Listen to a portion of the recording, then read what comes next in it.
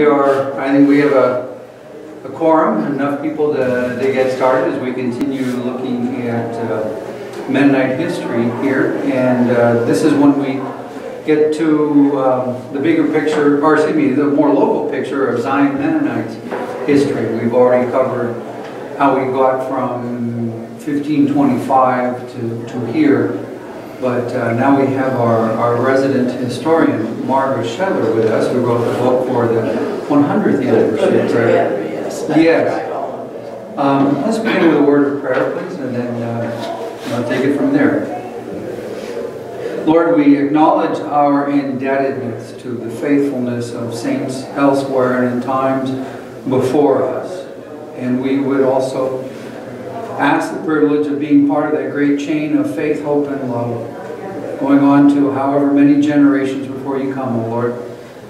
We ask that from this time together we would be all the more enlightened and all the more appreciative of what you have done from our births and even before on our behalf. This we pray in Christ's name.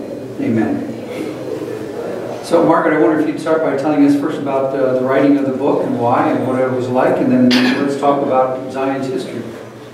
Well, the writing of the book, Not well. No, that's okay. No, that's, uh, hmm. I was part of the committee to plan for the centennial. And I guess, but the record, Zion has kept up much better records than many churches, although between 1893 and uh, 1916, when A.P. Troyer sat down and made out a list of all the members, people of the congregation at that time. So from, from that time on, membership records are, are complete. Before that, every once in a while I run across something here and. So-and-so was a member for a certain of time.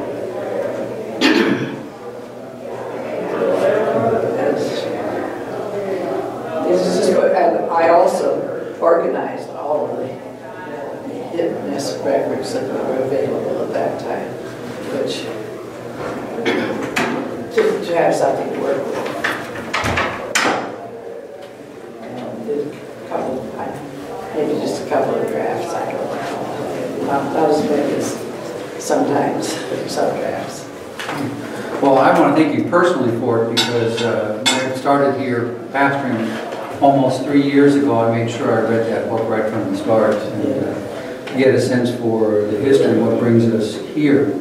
So Margaret, uh, would you share with us then what you prepared in terms of, I think, an outline and some thoughts and memories?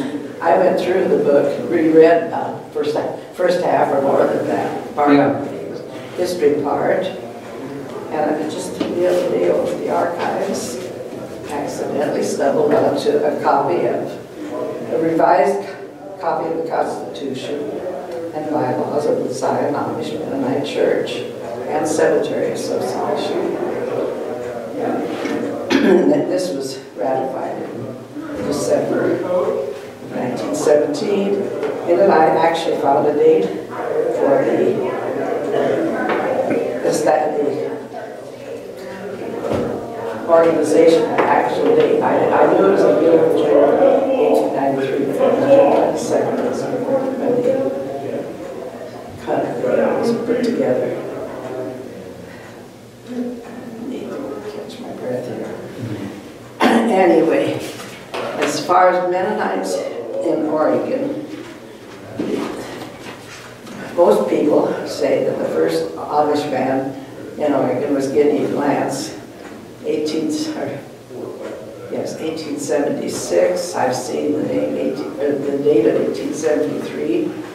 He was from Illinois, I think, and uh, I'm not sure if he was, how Amish he was, to be honest with you. It was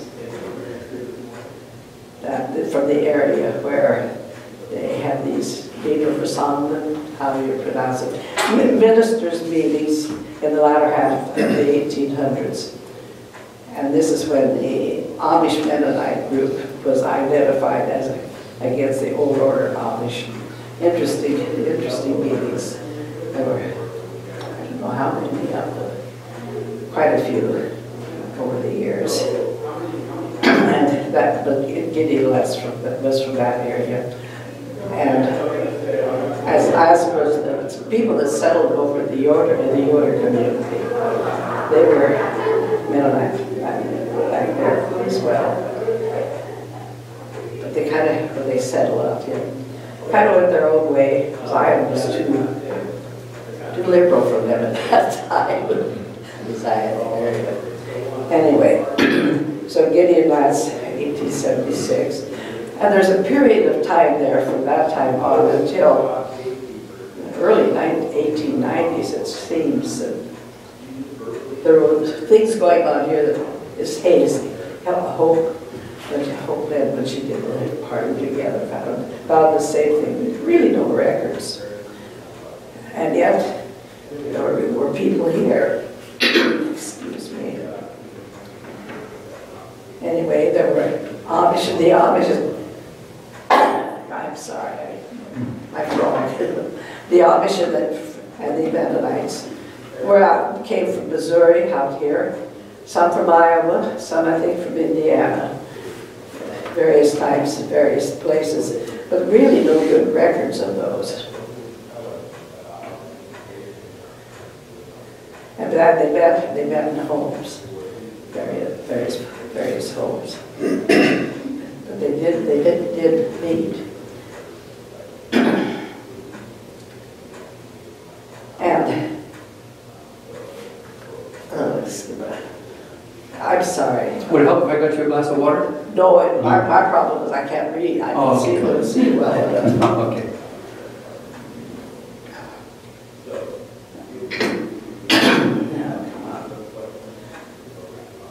There, I have here, there were Amish and Mennonite and other places. And there were burials early on and all. Well, let's, uh, let's talk, I had conference affiliations first. The Mennonite church at that time, in the 1890s, were, were members of the Kansas, Nebraska conference, which included I, I don't know how, how large it was, everything out west from, from that area. And the Amish Mennonites, it was a Western District Amish Mennonite Conference. And it, it, it included the Amish Mennonites in Illinois and everything west of of Mississippi.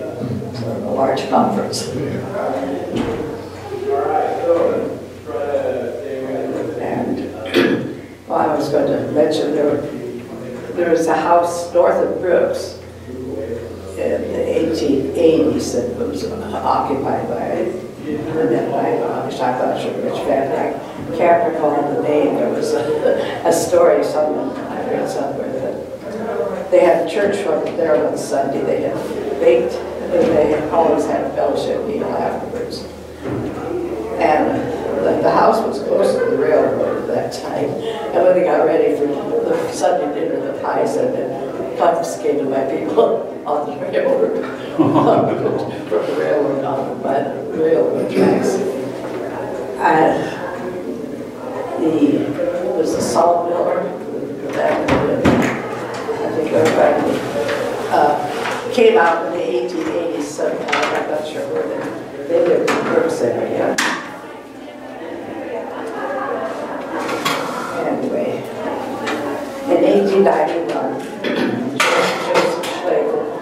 was a minister bishop in the Western District Conference, was appointed, and he was from Milford, Nebraska, and he was appointed as the evangelist for churches and scattered members in the West, which covered a large territory. In 1893, in the spring of 1893, Joseph Schlegel Jacob Roth of Thurman, Colorado, which is out in the northwest corner of Colorado, and J.M.T. Miller, who was a layman from Milford. They and their wives spent six weeks here in Oregon. I should have mentioned before that uh, A.P. Troyer, his wife is, was ill, had was a typhoid fever, something, had was not recovering well from the illness anyway in Garden City, Missouri. So his wife came out ahead of the year before and sort of stepped out the territory, I guess you'd say. And he, he was advised to get moved to a, a more, uh, less stressful climate than western Missouri was. But anyway, Joseph Schlegel and their, broth and J.M.T. Miller spent six weeks in the valley and, and just trying to mediate problems up and down the valley. I, I have no idea what his problems were. And I loaned out my book and my part together and didn't have a chance to check and see the whole book if she mentioned those. But anyway, during this period that they were out here, the Amish Mennonites in this area rented the Rock Creek Church over on Wisconsin Road, is it? For two weeks, and had, and they had a, it was a place to hold meetings. And during this time, the congregation, Zion congregation was organized. Several folks were baptized, and they had a community service. And it was at this time that Daniel Kropf was ordained as a minister and A.P. Troyer, Hayes Troyer, as deacon. And there were 41 charter members. And the date was 22nd, June 22nd, 1893. I can interrupt a minute. So we're, uh, in 2018, we're coming on the 125th anniversary. So I remember that time, uh, in June 22nd. June, right? Yes. And they continued worshiping at homes as they had been all along. But I also, I was just doing a little bit, uh, just, I was doing a little bit of research the other day, like what was going on in 1893? If I go a little background There here. was a a recession, I didn't realize this for Mhm. a long time, but it was, that wasn't the word they used then, but it was- Well, was, yeah, there's a panic of Panic, 18, panic, panic of 1893, and the stock market collapsed. Just a few other things that were interesting. Colorado was the first state to give women the right to vote. And that same year, so that hadn't been happened before, and, uh, oh, uh, New Zealand was the first country to give women the right to vote that same year. Um, I was thinking that's, that's when Henry Ford cranked the first uh, uh, gasoline-powered car out of his garage. Uh, And that was like 25, 27 years after the Battle of the Little Bighorn. So this was still the frontier. So, yeah, so continue. I thought I'd give a little bit of background. right? And the, uh, the Herald of Truth was the church paper at that time, I think published once a month. And the 15, February 15, 1894 issue, the co- correspondent from out here said that Zion was preparing to build a meeting house. The cost was $180 plus donated labor. And it was probably used that year, but it was not completed until about two years, for for another two years. And as far as I can determine, I think it is the same property where, where the Baskervilles live now. Yeah, Right in that area somewhere. Let's see. And uh, Zion was part of the Western District Amish Conference, and Jos- uh, Joseph Schlegel remained bishop, or bishop, had bishop oversight.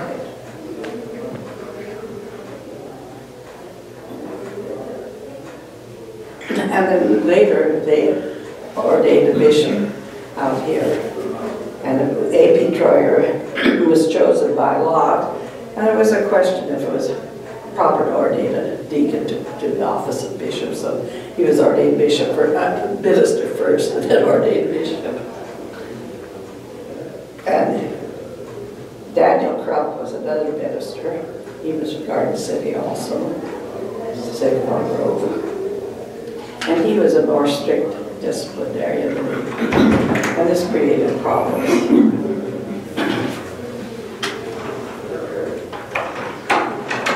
Although, that because of that, there was, that there was dissatisfaction was evident in the congre- congregation. And so, very quietly, Daniel Kropf decided to leave the area, move south out of the Harrisburg area. Something I read somewhere that he and AP had talked it over amongst themselves first. And of course, with people, there were deaths.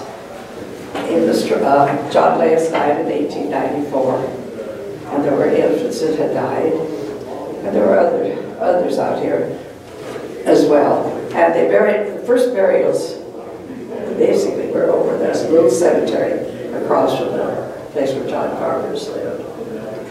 And there's still, still some graves there. But after the Zion Cemetery, some, some of the stones were, some bodies moved, I think there is, and also some stones moved. But but Zion needed its own cemetery, and the ground over on Highway 211 was too wet. And I think that the, it's the Israel Yoder place, Si- which is Silas Yoder's, we would do a Silas Yoder's place across the, the road. And it also was too wet for cemetery purposes. So, in, see what my notes say. They did, they did their own cemetery. Yes, but that land was not suitable. So in December of 1897, they called a meeting to organize a cemetery association, which was basically the, what's the word I want? The business aspect of the, of the congregation. Evidently, I guess until 1920, 21, for that merger. And, uh, and at that time, they made out a constitution and bylaws. And accepted the present site of the church, of the cemetery now, the church. It was uh, donated by Peter Troyer, who was AP's father, and the Peter Troyer family, I think, came to 1895.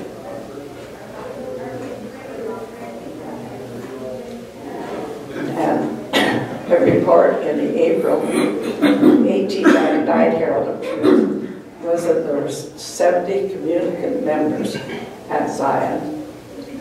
And this didn't include children non-members. But, but a new church was needed. The church, the church house over in 211 was not large enough. Then, uh, and I had no, there were no recorded meetings between January 20 and October 1 of 1898, but plenty of activity evidently, because the first service was held in the new building in September of the same year. And of course, the, the story about the name of the building was that they were roofing the, roofing the building, singing a song, something about marching, going to Zion, there's, nobody really knows what the song was, but someone commented that would be a good name for a church, Zion. And thus it was. And incorporation papers were filed, and they, the of given was Amish Mennonite Zion Church of Dede, Clackamas County, Oregon. Oh, yeah, state of Oregon. How's that for a name? And not until September 30th of 1960 were we officially recorded as Zion Mennonite Church.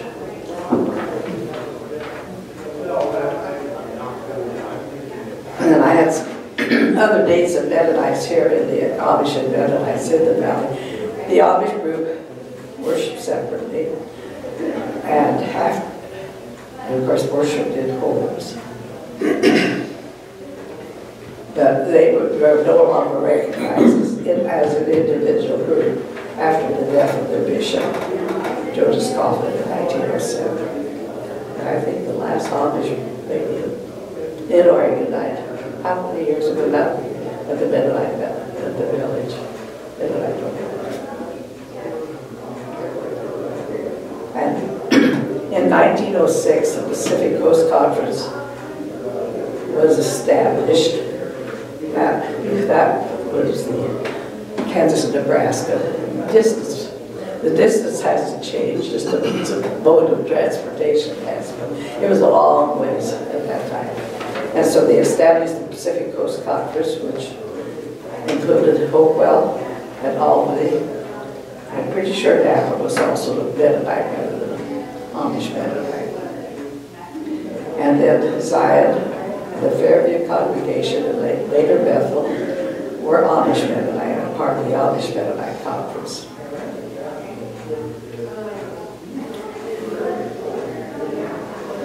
And then in 1920 and 21, the Amish Mennonite Church and the Mennonites merged. Also, there was a merger then, and a new, and a new Pacific Coast Conference emerged. And I there's a comment I made in here about Zion. With the, uh, what was, uh, the, I'm not struggling for words today. Amos Troyer was involved in the working out of the, of the merger.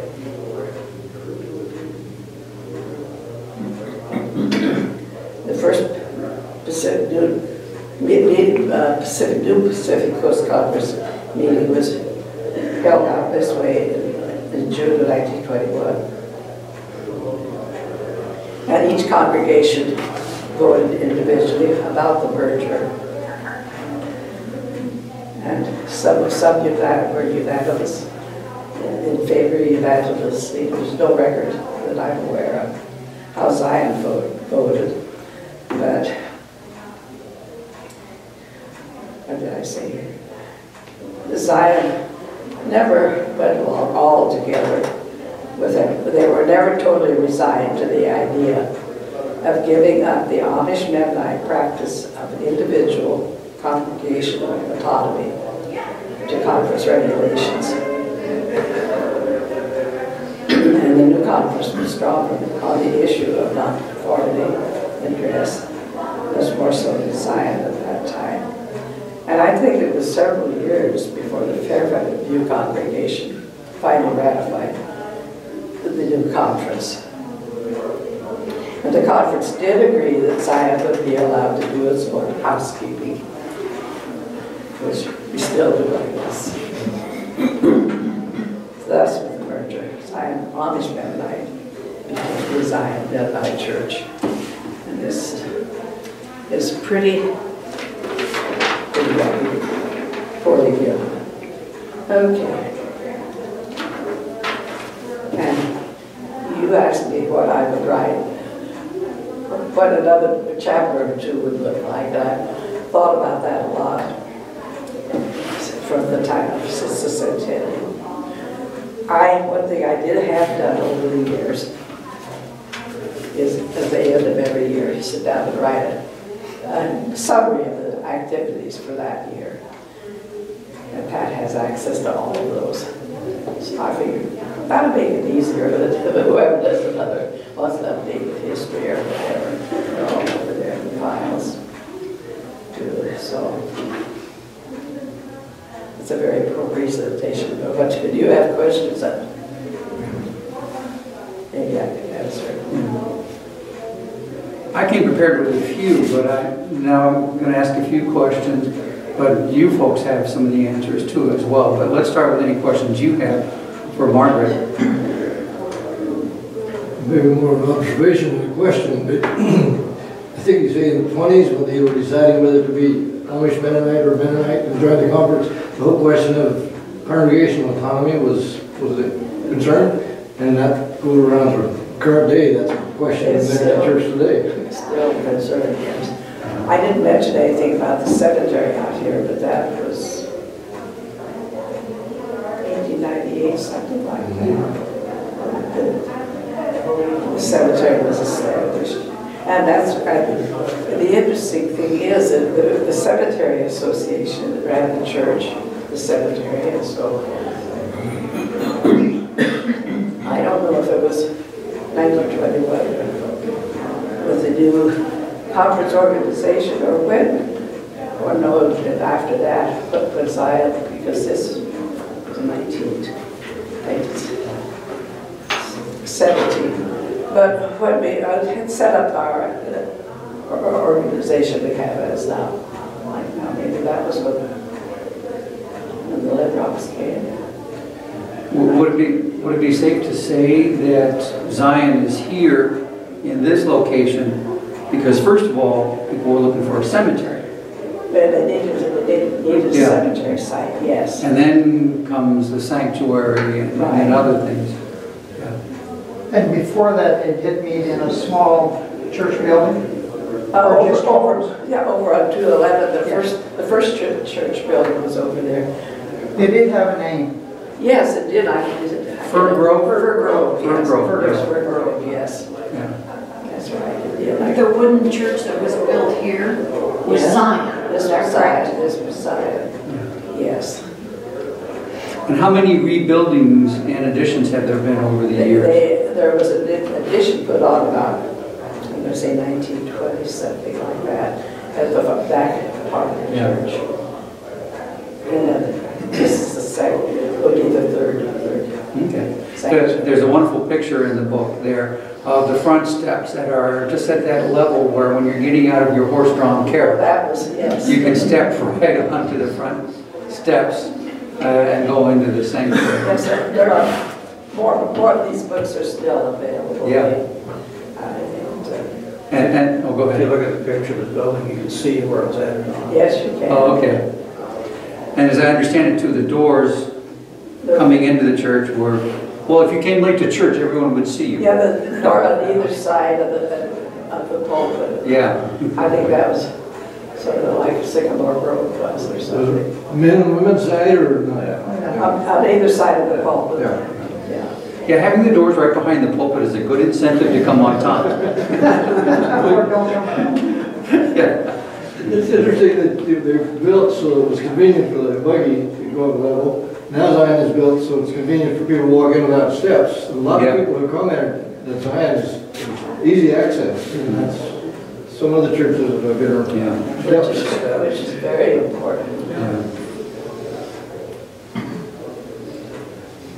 Now, I'm also curious, now tell me if I picked up correctly in the book that the Amish Mennonites, am I correct here, that they're sort of that, that later wave of Amish who came out of Europe, out of Alsace and Lorraine in that area, but they were already in, you know, sort of moving back towards fellowship with the Mennonites.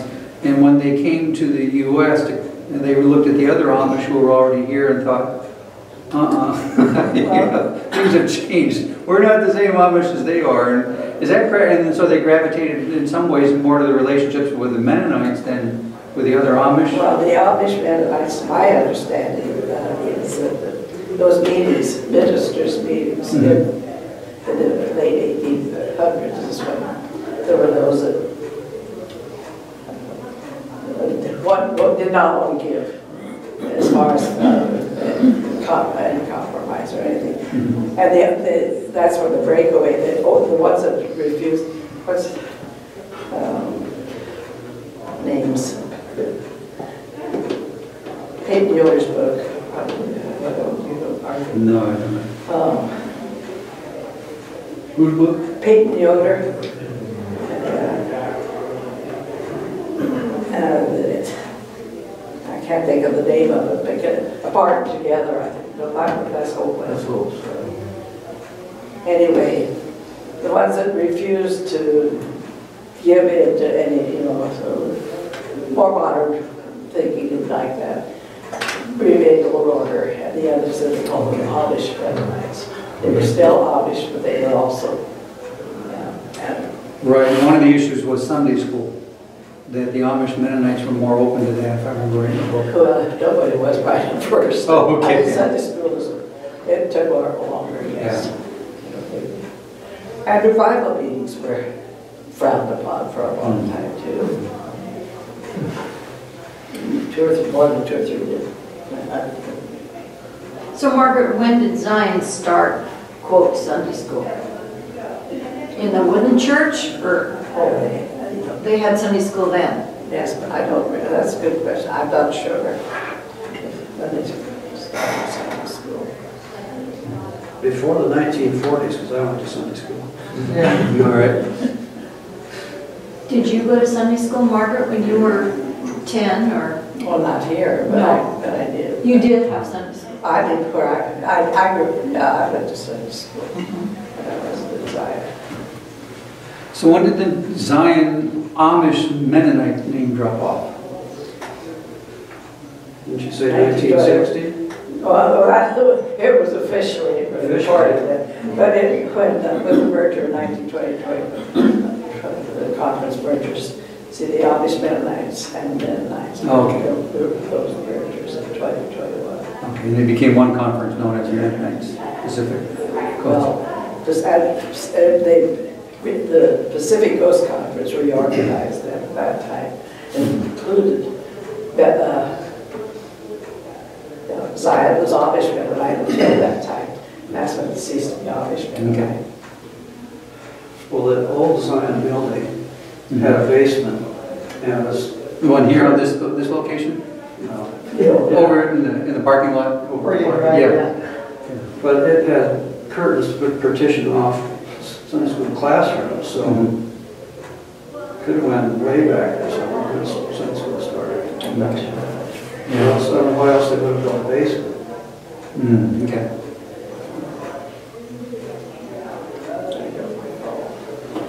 Oh, also, you know, reading, uh, reading the history, a lot of it, as you were doing the history, did you ever, you know, were some of the, were some of the documents in German or English or pretty much in English or what? If they were German, I didn't read them. Oh, okay. No, I, that's, I think probably, well, they did preach it, they did preach it uh, Durham though. And the, there was a Sunday school class up until late nineteen twenties, maybe early, one, one German Sunday school class. So I don't know, probably the switch was made during World War One. And German was not frowned upon very much. Yeah, that's right. I was, uh, that was another question that I had, the effect of World War One and the anti-German hysteria of the, of the time. Do you remember some stories related to that? Kelly Fahey has stories related to that. Oh, okay. But, uh, I mean, There are some good accounts of that in her other book, or that part together by Yes. Goldwyn. Okay. There's a chapter on Mennonites in the World War. Oh, okay. and, and Ed Yoder would visit. We, we had some people at Fort Lewis. Okay. And he got word one time that, I mean, he was going, he was going up, going to visit. And somehow the word got out and he said he went, went a different way to get, the- get to the train. And he left his team standing in the field where he had been plowing, kind of as a decoy. Of course, that time, I was just reading last evening about that, that he, um, they were advised him to go to Woodburn to get the train instead of Hubbard, because a gallows had been built in Hubbard, assumed presumably to hang him. Wow. And didn't he have a meeting with the Secretary of War too? Uh, I think he did. Because that's, I think, recorded in the book That's how too. they, Yeah. How the Secretary of War interviewed him and finally said, let me know what I can do to help you uh, conscientious objectors. That Ed Yoder won him over, I guess.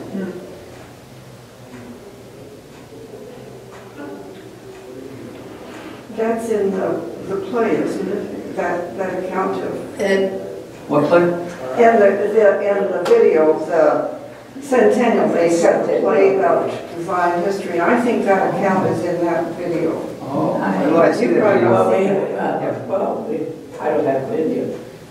I have tapes of all of the meetings. So I think um, John, do we have the video? Orville Adams played a part in that. Oh, wonderful. Have to check. If we have the video over the archives. I think there's prob, uh, there's one in the library, I think, you know. Do you have a way to play that? If it's, uh, The video? red video VHS? cassette, VHS? oh, somebody, we ought to be able to scare one up somewhere. We have one. I Yeah. I have Okay. one too. We can watch Okay. it together. Yeah, I haven't seen it since 1993. It's time to look at it again. yeah, That ought to be digitized, Yeah. yeah. more volunteered. I don't know how to do it. But you got the VHS? Yeah, I have a player. Okay. but how do you change it? Oh, I don't do I that. have no. Take it to Costco. Oh, thank you. Will they do that? I have, I have a question that's not specifically about Zion. Because we talked about It's okay to ask. VHS in the library. When did the GCs and the OMs come into one conference, and why did they do that? Was Oh, that within the last 25 years? Yes, that's Nineteen, I was gonna say ninety-four, but it's that. around 95. I think. Or, yeah, I think 95 was the vote that said, yes, let's do it, joint conference in St. Louis, I think. And then, um, and then, um, just around 2000, it was finally official. Um, Really, that recently? Yes. Wow. Um, And why did they combine?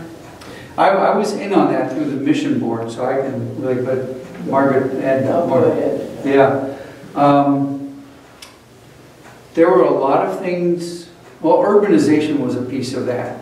Um, m- uh, Young Mennonite folks, especially from either of the churches, rural church, rural GC churches, general conference churches, say in, in Kansas and Nebraska, moving to big cities, and people moving, say, from what the old, old order, not old, I'm sorry, old, what they called Old Mennonite Church or the Mennonite Church that Zion was part of, also moving to these places, and uh, they were forming new urban churches together that had dual affiliation. And uh, I, Becky and I joined a church that was like that, and then the church I pastored in Minneapolis was also a dually affiliated one, so you can imagine that means two regional district conferences and two national conferences.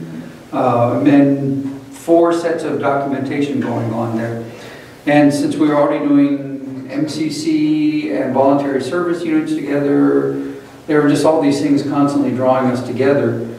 Um, there were also um, projects overseas that we were often doing together, either through MCC or uh, joint mission endeavors. And when I can remember in Burkina Faso trying to explain to somebody about, well, you know, the, the OM and the GC and a number of other Mennonite denominations are in together here on Africa Inter-Mennonite Mission.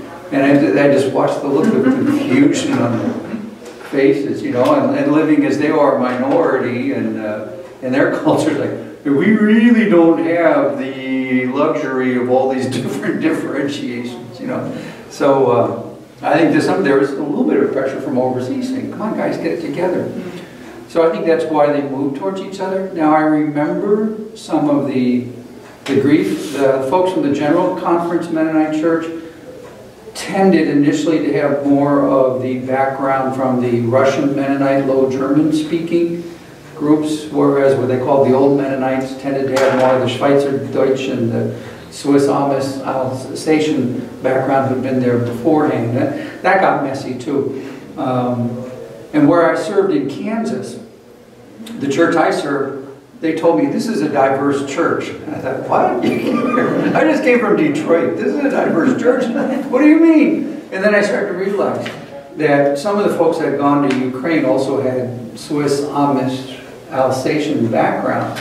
And so you, after a while I started to realize, oh yeah, this church here in Kansas is, um, has more of the Swiss Amish background. And this church has more of the Dutch, North German, Low German speaking group, and McPherson, the first Mennonite there, started out of both groups, and well, that explains a few things around here. Uh, So, so when I was explaining, um, you know, the, the integration of these two denominations, I could tell, you know, the majority of that church came from the Swiss Amish background, and I said, really, when you go back far enough, there wasn't all that much difference. That, you know, some of the Yoders and Schwartzentrubers and others in your family history you are also um, in their family history. It's just that way back in the late 18th century, or excuse me, the 19th century, some of your ancestors were going to America and some of your ancestors were going to Ukraine.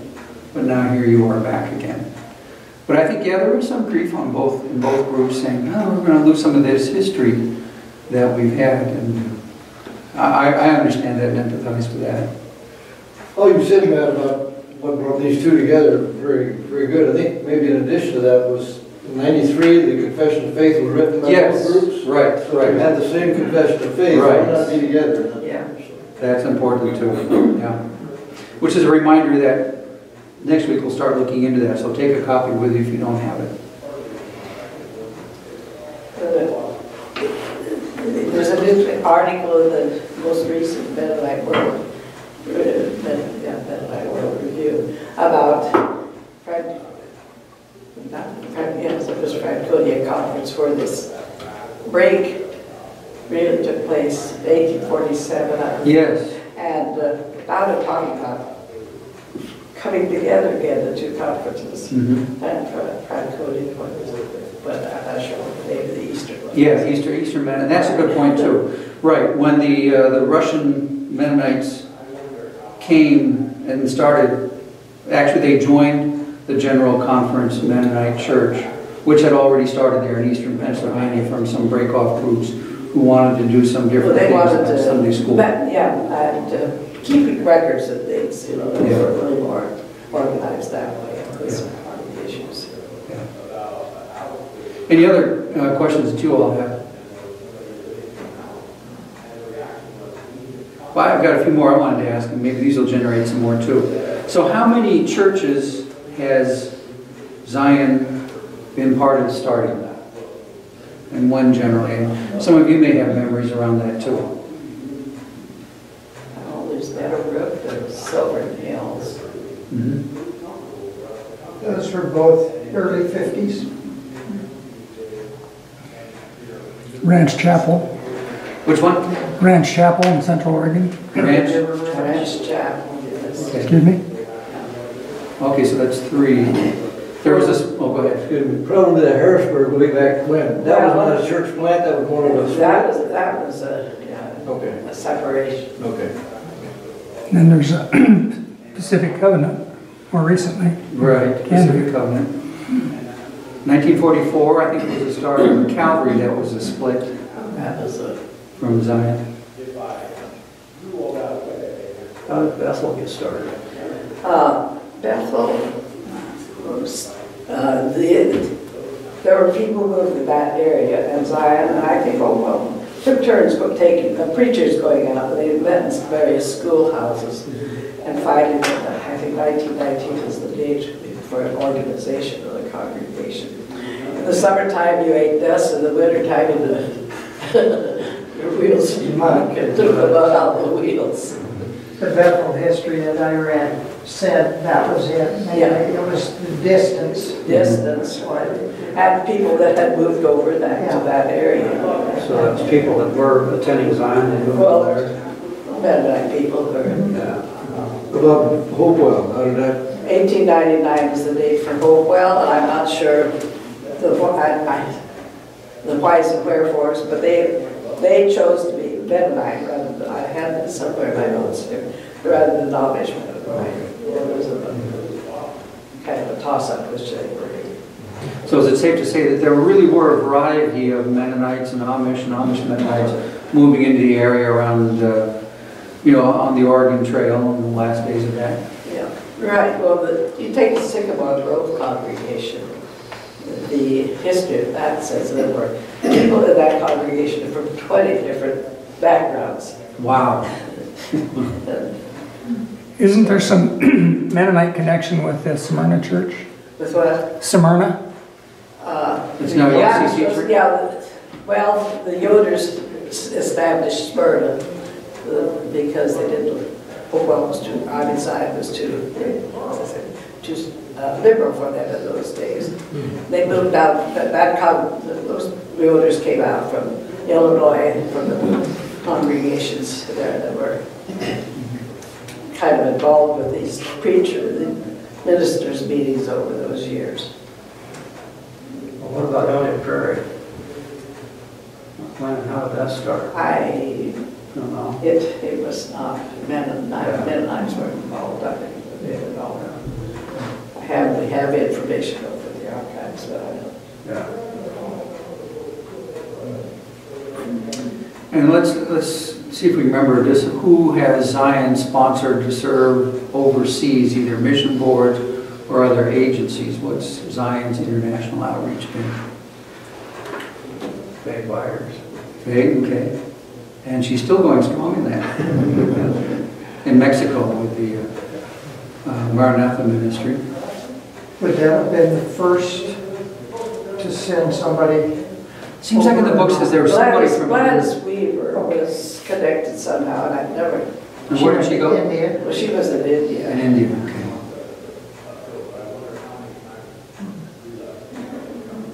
And then, of course, there's Karen Wendell, going to Bolivia. And that was interesting because uh, when I was first connecting with Zion, and there was the first communication about, would you be interested in serving here? Can we talk more? And I picked up on Wendell and Karen's name. I thought, where do I know that name from? And that was from serving on the mission board at the time that the two denominations' mission boards were coming together. So we were reading each other's reports. Oh, that's where, that's where it came from. Um, who else?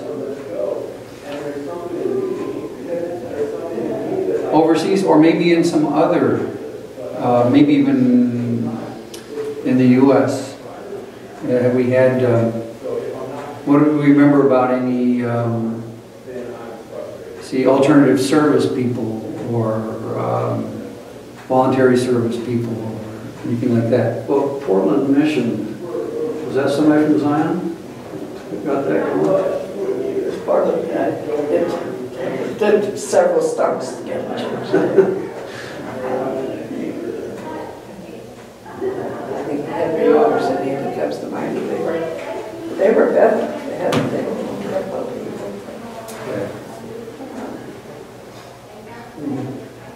Well, you asked about one W. Yes, Somebody- right. Somebody started a list, trying to get everybody's name. and Pat's. Pat's working on that. What happened to it? I don't know. It's hard to keep track of everybody. Yeah. Well, have you, or have any people here done the I was in alternative? one W in Denver, Mhm. And what were you working? What, what were you doing? file clerk in the X-ray department, and, you know. Mhm. Ken Beachy was in uh, Oh, Algeria. Algeria, Yeah. that I was- did. That was PAX, I think. that was PAX. PAX. Mhm. I did one time in Portland Okay. And so- Hospital, Emanuel Hospital. Okay. I did And one then Jimmy W Graper did too, sorry.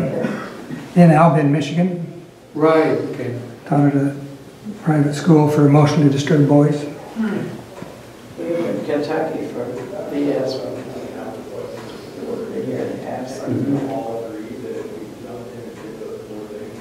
And we had a lot of our father's generation in uh, CPS camps around the country. Okay, Yeah, John's dad was in it. okay, doing. Well, um, John horse- Garber was there. Vernon Gaylor. No, We were Vernon there. Gaylor was in, he was a medic in the army. Oh, that's Was it right. med- Les Gaylor was in the smoke jumpers. Okay. Okay, And I have some films of those that need to go to the archives. yeah. Now, we have a few um, veterans buried in the cemetery too. But I remember the, from World War One, the Dietz brothers, Brothers, yes. um, and their bodies were brought back and buried here. So I, I know the, um, that the, some, the few members who have gone in the military service, that, that um, is related to some controversy too in the church history. I believe Earl Carnegie was a sea seagoing cowboy. Okay, Pretty, pretty sure he was. He was, at- Earl was, in- Earl was in CPS also. Yeah. I had a stepmom who was in the service out there. uh-huh.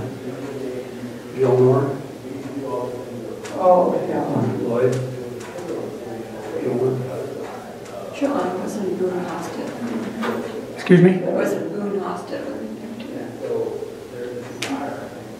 His name was Daniel. I think. Yeah, I, I don't know. I- I'd be interested, I thought he was. could well been. Calvin Truck would have been in CPS. I Yes. Calvin was on Belton. Maybe Floyd Black. He's later than World War II. But like that continued to be a program through the Korean and Vietnam Wars. And uh, I think my, my age group was the last one to be worrying about a draft card. And I wasn't Mennonite at the time. Um, I missed the Vietnam War by about a year and a half, two years. Um, I did have a draft card and I lost it. I called the, uh, the Selective Service Agency, thought I'd better fess up before I get in trouble. And I told them I, I lost my card inadvertently, didn't burn it, and how do I get a new one? And the guy over the phone said, oh, don't worry about it, we're closing the shop up in about a year. Oh. But you're talking about one W program on that. No, I- no, I wasn't, I wasn't a conscientious objector, I don't think I was even a Christian at that point. But, but when you're talking about it continuing. Oh, yes, yes, that right. era, CPS ended after World War II, I think. Do you know, Margaret? I'm not aware of it in the fifties. No, I- Sounds right. that's, that's, Pax took him over in the Yeah. fifties, right? Pax. took, took a year to get out, but Because I- I've known of individuals who uh, did still alternative service in to the 50s and the 60s, that was, but it probably would not have been called CPS. no. Oh, Well, it, it, it it did, but it was not civil, civilian public service. it was a- But that was a government It was, sponsored thing. that was, CPS. CPS was what, definitely the church churches paid the bills. Yeah, but the government spon, I mean, they set it up, right? Because it was civilian public service and the government administered it, didn't they? And they came up with the projects. Yeah. Right. Well, did they oversee what they did too? Oh, I think so. Well, you know, it took, fif- it took 50 years for the uh, parks people to acknowledge the presence of CPS in Belton. After, after 50 years, they came to one of our unions and acknowledged the fact that they had built a water tank and and a lot of work over at headquarters. and- Trails and things like that. Is it right that they worked on Timberline Lodge? I think so. I I think that's, I I think think Come from Bell? in the explanations and photos and stuff that CPS. Or was that, or was that from the camp? I, yeah, I thought that was uh, the um, Yes. Works Product, WPA. Oh, well, during the- Oh, no, but I, PCC? What was the CPS campus? Names go that way anymore for me. And, uh, but there was one up in that area. It was more, it was, I think, rather services or uh, supervised them rather than. Mhm. And they may have well worked uh, Timberline. Finally, let's wrap it up with this, just in about another couple of minutes here. What would you say have been some of the key ways that um, Zion has reached out in ministry to the wider world? What are some of the major programs or events or uh, ministries that Zion has contributed over the years? What about the Gaylor story? Was it, was the Gaylors or who was it? It's sickness, and I think it was uh, M. M. Carnegie went into a factory when there was illness. Well, I don't know if it was illness, but Was it flu or uh. Bill and Em Carnegie were, were friends with, my grandparents lived a mile apart. And my grandparents were Lutheran and they'd go to Aurora or Macksburg, which was a long ways away.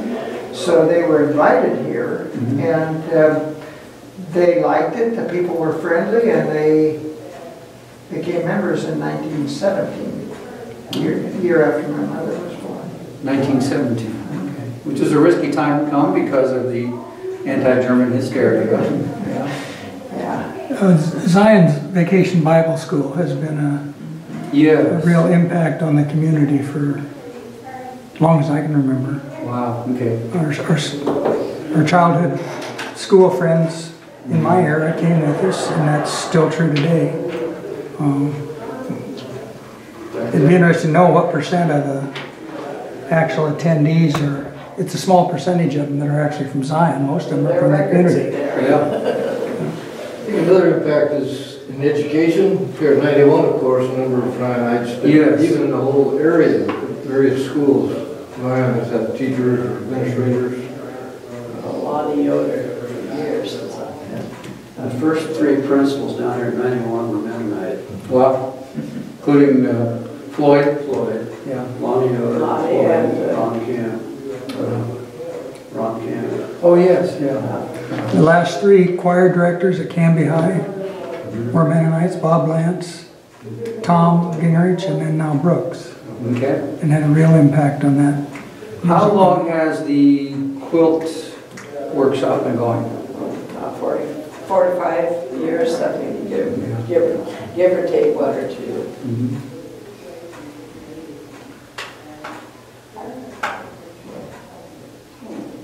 Well, that brings us to 10:30, um, so thank you very much, Margaret. Sorry, I was so, Oh, that's this very, morning wasn't a good day, but that's okay. yeah, thank you very much. And, uh, yeah, we're just uh, two years, less than two years away from celebrating the 125th. Um, Next week, let's get into the confession of faith in the Mennonite perspective. We'll just start talking about that, just read from the beginning, because I think it just goes wonderfully, uh, one piece from beginning to.